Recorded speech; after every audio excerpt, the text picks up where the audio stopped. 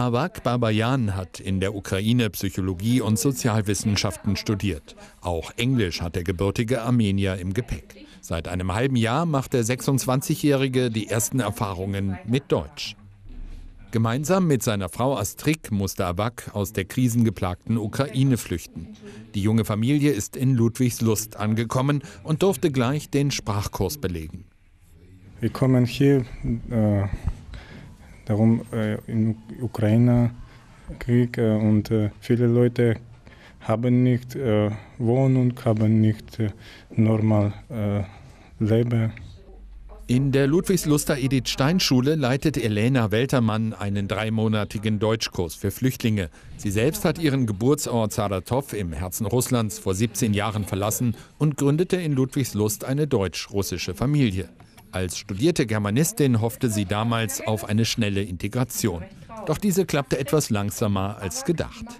Das war für mich komisch, zum Beispiel, dass Weihnachten zuerst gefeiert wird und äh, Silvester hat dann nicht so eine große Bedeutung. Mittlerweile bin ich schon so deutsch, dass ich das andersrum komisch empfinde.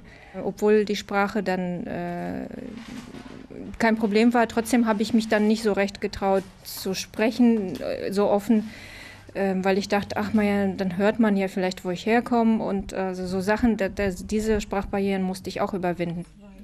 Die Schulleiterin Marion Löning ist beim Unterricht mit dabei. Schließlich ist es der Tag der Zeugnisausgabe.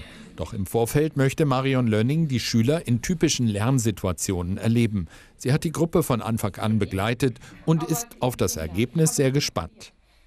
Also ich erlebe sie sehr lernwillig, sehr offen, äh, zu Anfang schüchtern, aber das wird immer besser. Wir freuen uns, dass sie hier in der Schule sind und sich hier auch wohlfühlen in der Schule. Das war uns ganz wichtig, als wir gesagt haben, wir bieten den Kurs an und werden immer selbstbewusster, auch mit der Sprache, trauen sich auch, ihre Sprache dann auch anderswo anzuwenden, nicht nur hier im Kurs. Awake und Astrik geben ihr Bestes. Mit ihren Hochschulabschlüssen und hoher Motivation hoffen sie, sich im neuen Umfeld wieder schnell zurechtzufinden.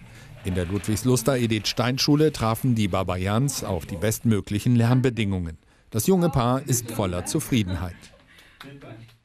Wir wollen lernen Deutsch, wir wollen sprechen mit äh, Leuten und äh, wir, wir, wir, wir, wollen äh, integrieren in Deutsch Sozium.